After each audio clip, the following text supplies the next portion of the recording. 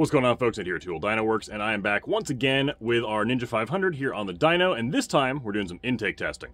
Okay, so we went ahead and removed the stock air filter and snorkels that are just kind of shoved in the sides of the airbox, and went ahead and installed the DNA air filter. And it did nothing.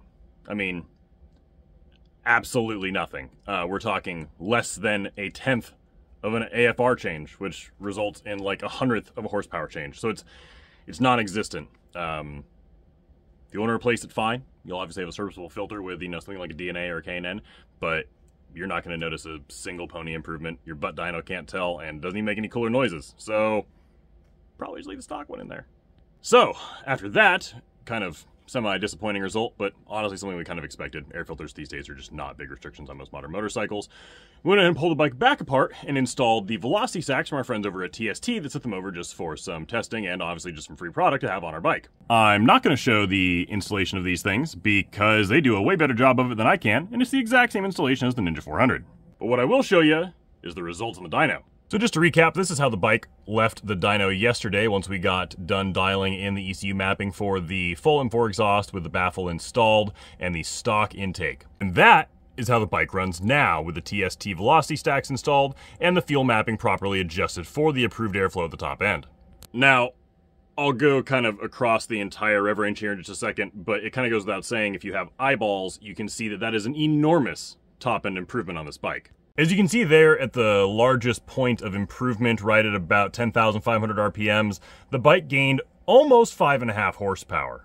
Now, you don't ever get horsepower gains like this from velocity stacks without losing somewhere. So yeah, do you lose something? Uh, you lose six tenths of a horsepower there, uh, maybe seven tenths there, maybe eight tenths there, maybe one and a couple tenths way down there at the bottom. But who gives a shit when you're talking about over five ponies out there at the top end? So hats off to the guys at TST. These things work awesome, and we now have custom mapping built for one of these full systems like the M4 with the baffle in and their TST stacks. Now, next up, we're going to go ahead and change up the exhaust system a little bit because I have different options here that we're going to put on this bike and see if there's any significant improvements.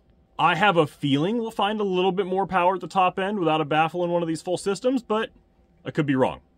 But even if there isn't significant improvements with the baffle out, the gains over how this bike was stock are already hilarious. That is the bike stock, the blue line there runs 6, versus how this thing sits right now, and it's gained just under 10 horsepower at the very top end of the RPM range, right there around 10,500 RPMs. And you can see the graph for yourself. The improvements everywhere are just huge.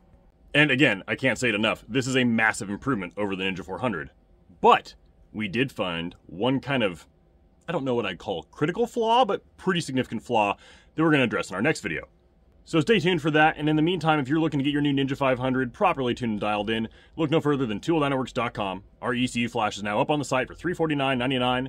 Send it on over to us, and we'll get it flashed shipped back to you the same day that we receive it. If you have any questions, do not hesitate to email us at support at 2wheeldynoworks.com, and we are always happy to help.